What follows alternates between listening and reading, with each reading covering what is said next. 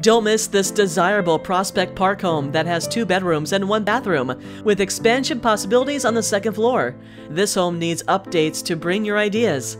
Jen Cavanaugh had this home under contract in less than a week.